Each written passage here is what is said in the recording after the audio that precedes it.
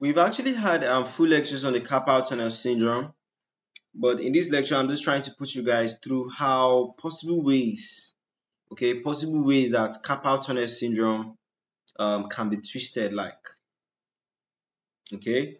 So just trying to look at possible ways in which exam questions on carpal tunnel can come through. And this was a past exam question.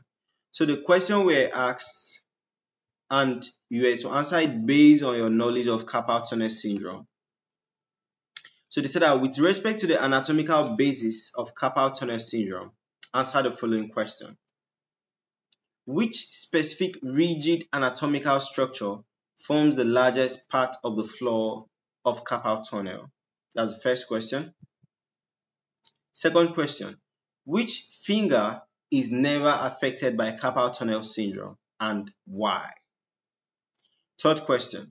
Which nerve is reputed to be spared in a carpal tunnel syndrome? Like which nerve will not be affected in a carpal tunnel syndrome? Now, before I answer these questions, I will use this uh, picture to define what a carpal tunnel is before we even start answering any of those questions.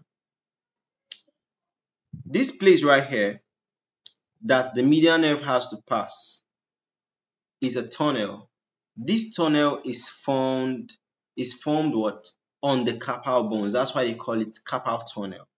Now, anything could happen. It could be that what you overwork, so you overuse your wrist, so it could lead to compression of the median nerve, or it could be that there was a trauma, a fracture led to compression of median nerve. Now, when there is compression of median nerve, the side that the median nerve supplies will suffer. It will become numb and it will be so painful. Now, there's another nerve that is passing here, which is the ulnar nerve. The ulnar nerve supplies what? Half of the ring finger and the and the ring finger uh, and the pinky finger. That's your little finger, right? So now this part will not be affected because they are not supplied by the median nerve. I don't think I, I think you guys have understood a bit. So now let's go answering the question. We'll be going down, uh, going there to actually see what um, make references. So for the first question, which is what? Which rigid structure forms the largest part? The rigid structure that forms the largest part is the capitate bone. Looking at this tunnel, this is the tunnel that we're talking about, right? It's like a tunnel where trains pass, passageway. You see the median nerve here. Now they said that what? Which rigid structure? They are not asking for what? Muscle. They are saying rigid. That means what? Bony structure. Looking at this tunnel, this is the floor, right? Which structure forms the largest part of this tunnel? Is the capitate, right? The capitate. Okay, no. No, that's not the capitate, right? The capitate is too far away. Okay, wrist. Wrist right here. The capitate is too far away. Okay, so I think it was lunate. Sorry. All right. This is lunate, right? This is lunate. Sorry. This is lunate.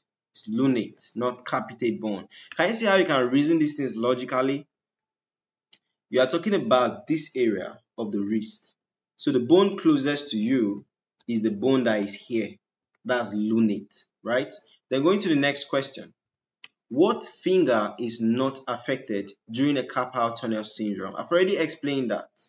In a carpal tunnel syndrome, the nerve that is affected is median nerve. The side that the median nerve is supplying will suffer the most. We also have the ulnar nerve. The side that the ulnar nerve is supplying will not suffer. Alright? So which finger is not affected at all? It's only the pinky finger because the ring finger, half of it is affected because half of it is supplied by the median nerve. Okay? So what? The little finger, also known as the pinky finger, is not affected. Now why?